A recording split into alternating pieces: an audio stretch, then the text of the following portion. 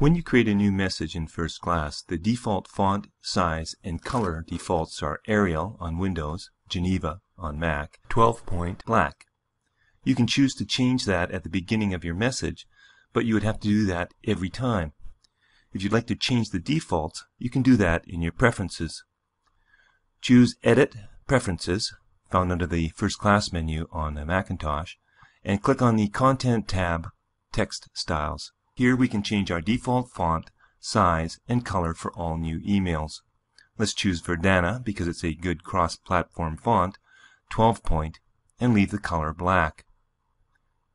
Now when I create a new message or reply to a message, the defaults have now changed.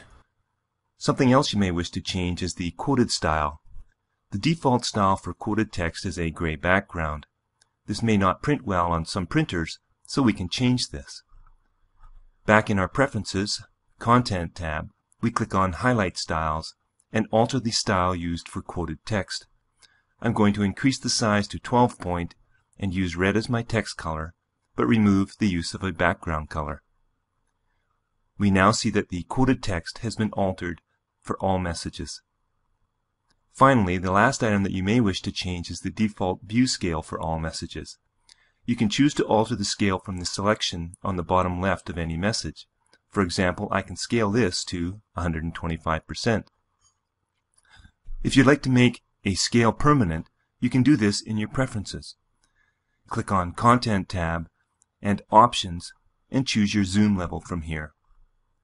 Now, all messages will be scaled to 115%.